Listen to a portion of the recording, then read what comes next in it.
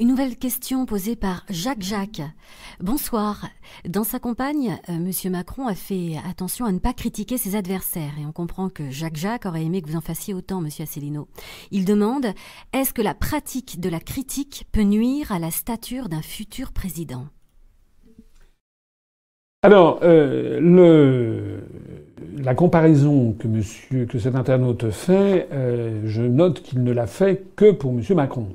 Parce que le moins que l'on puisse dire, c'est que Mme Le Pen ne s'est pas gênée pour critiquer autrui, euh, mais euh, c'est également le cas de M. Mélenchon, c'est également le cas d'à peu près tout le monde. Euh, en réalité, il y a une corrélation très forte entre la façon dont on est traité par les médias et la façon dont on leur répond. Moi, lorsque j'ai été pendant la campagne électorale, constamment, du moins pendant les trois premières semaines, constamment, on m'a dit alors finalement vous êtes d'extrême droite, vous êtes comme le Front National. Qu'est-ce que je pouvais faire d'autre que de dire non, je ne suis pas comme le Front National? Moi, je ne sais pas. Il fallait que je sois comme ça, en ne disant rien, en ayant un sourire benet et en disant, ben voilà, pensez printemps, les amis. Non, je n'étais pas dans la même position que M. Macron.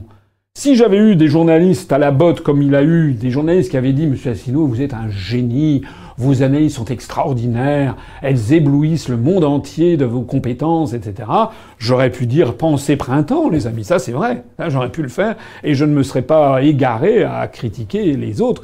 Mais c'est parce que constamment on m'envoyait dans les pattes Madame Le Pen, Monsieur Dupont-Aignan ou éventuellement Monsieur Mélenchon que j'ai bien été obligé de le dire.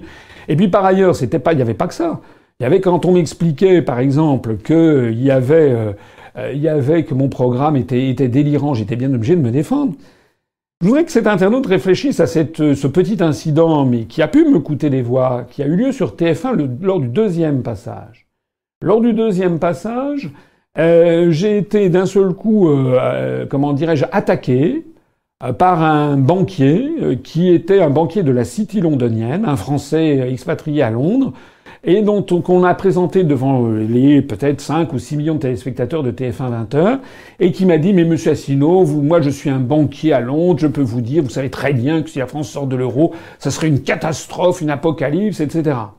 Ça, c'était une attaque venant d'un banquier prétendument.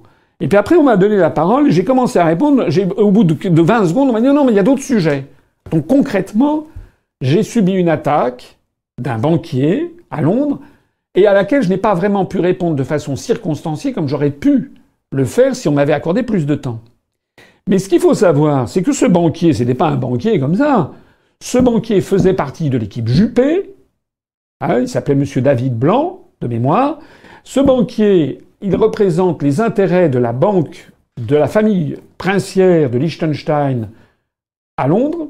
J'ai, allé vérifier. Cette banque, d'ailleurs, a fait l'objet de poursuites pour, euh, elle a été mise en cause sur des affaires euh, d'évasion euh, et de fraude fiscale au niveau européen. Voilà ce que représentait ce banquier. Mais ce monsieur, ce banquier avait fait partie de l'équipe de campagne d'Alain Juppé au Royaume-Uni pour les Français de l'étranger et a circulé sur Internet il y a quelques jours, je vous y renvoie, une photo où l'on voit ce banquier, monsieur David Blanc, bras dessus, bras dessous, avec le nouveau Premier ministre, monsieur Édouard Philippe. Donc en fait, ça veut dire quoi? Ça veut dire que les équipes de Juppé ou celles de Macron, ils m'ont attaqué, mais ils ont tellement de réseaux qu'ils pouvaient se donner le luxe d'apparaître comme des enfants de cœur, mais faisant attaquer par des tiers. Voilà, parce que les tiers, eux, ils ont accès aux médias. Moi, le problème, c'est qu'avec moi qui avait accès aux médias. Et je n'avais pas sous le coup d'un banquier qui aurait pu être invité au TF1 20 pour aller flinguer M. Macron. Voilà. C'est la raison pour laquelle je me permets de dire que ce procès qui m'est fait n'est pas, juste. Il est injuste parce qu'il ne tient pas compte des différences de situation dans lesquelles nous sommes. Pour le reste, je suis bien d'accord avec vous euh, que si je pouvais m'empêcher de, critiquer tel ou tel, je le ferais très volontiers. Mais le problème, c'est que je suis bien obligé de répondre aux attaques qui me sont faites. J'ajoute d'ailleurs en général que lorsque les gens me critiquent, c'est très souvent, je ne sais pas si c'est le cas de cet internaute, mais c'est très souvent parce que nos critiques viennent juste. Voilà. On a eu une recrudescence il y a quelques jours euh, de ce type de critique qui m'a été faite, tout simplement parce que j'ai pointé du doigt ce qui vient de se passer au Front National avec M. Le Pen qui a décidé de lancer 200 candidats contre sa propre fille. Alors même que la structure Cotelec dont il est le président à financer la campagne électorale de sa fille. Et donc moi j'ai montré que derrière tout ça, ça sentait très mauvais.